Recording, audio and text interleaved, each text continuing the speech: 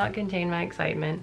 I have had the most autumnal, amazing, cozy, foggy, misty, blustery day.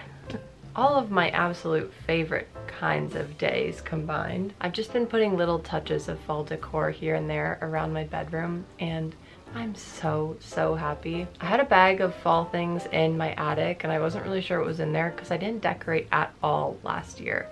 But I was really happy that I still have these glass pumpkins that I absolutely love. One is smaller.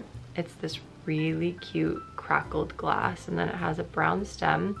I like that this is just very simple. It's super muted. It's not like loud and in your face because I feel like there's a line with fall decor. I'm very, very, very picky about the kind of fall decor I like. I don't know how to describe what it is. I just know it when I see it. And I think these two pumpkins are about as much home sense as I can take. I love going to Home Sense to get some inspiration at this time of year. But when you walk down an entire aisle full of like 50 of these, you realize they're just not that special. So I will not be buying any more, but this one this is the real showstopper because it is beautiful. It's this really, really pretty like jade color kind of seafoam. I actually have a lot, a lot of this color in my bedroom. I didn't know I liked this color so much, but it's become a bit of a thing for me in the past few years. Very, very muted in my bedroom because it just kind of blends in with everything else.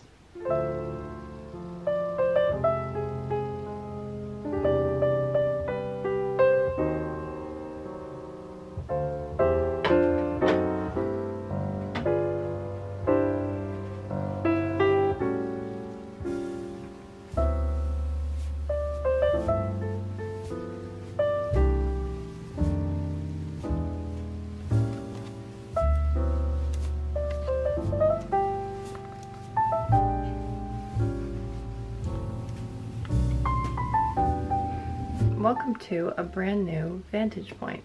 I now have a desk in my bedroom, which I'm very excited about. I went to the dollar store to peruse the Halloween aisle, which I don't always do. I don't really like shopping at the dollar store unless I have to, especially in terms of like decorations and things that you don't actually need.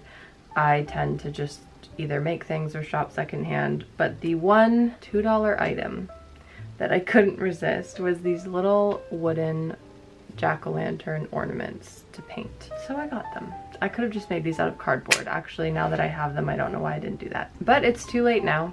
So I'm gonna do a little DIY with them to make them look like old, antique sort of, like I'm really into this like vintage kitschy Halloween this year. It's very unlike me.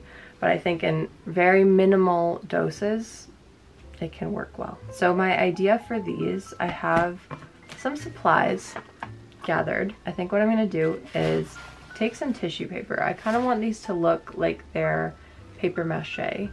So I think I want to take some tissue paper and then kind of smush it around here and soak it in glue. Or I think I could honestly maybe even use a glue stick, I'm not sure. And then I have two really nice colors of craft paint. This is from Craft Smart, which I don't know if this is just like Michael's brand, like their in-house brand, but that's where I got it. And it is Orange Spice. It's like this burnt orange color, which I really like. And then this one is olive green. So I think I'm gonna do half orange, half green. And then I have some black to possibly do some shading. And then if I can locate it, I think I have Mod Podge.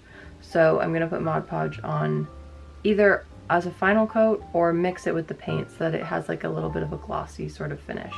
We'll see. We'll see how it looks. This could turn out like garbage. We will see.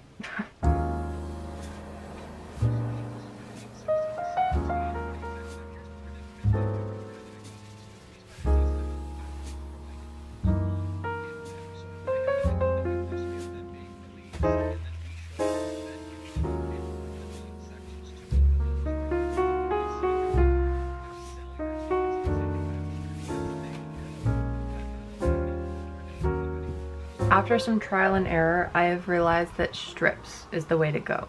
Just like good old paper mache, except I'm not being neat about it, I'm just smushing the strips on.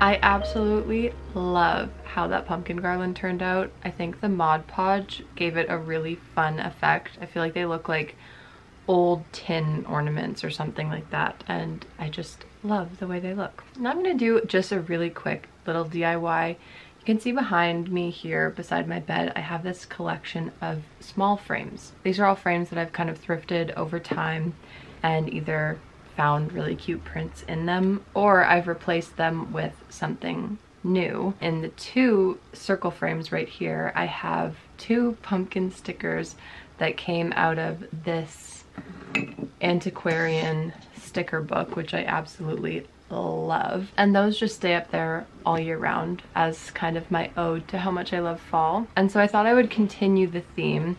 I have this little frame, which I really love. The thing that I especially love about it is this like scalloped detail along the edges. And the mat is also really cute too. I might keep that in there. The picture that came in this was so creepy. It was like this really creepy little boy. And that is long gone. Now I couldn't keep it. It wasn't an original or anything. It was just a print. But I was thinking of what I could put in this. And I have a collection of old Nancy Drew books. And I remembered that they have like the odd illustration in them. So I perused through them and I wanted to make sure I could get one that wouldn't like actually disrupt any of the pages, which some of them are very, very cute. Like something like this would be perfect for this frame, except unfortunately it has text on the back of it. But in the very front of these books, there is one illustration that kind of hints at the story. So I think I'm gonna use this one. It's from The Hidden Staircase, a personal childhood favorite. This is book two of the Nancy Drew series. And I'm just gonna simply cut it out, stick it in this frame, and hang it up behind me.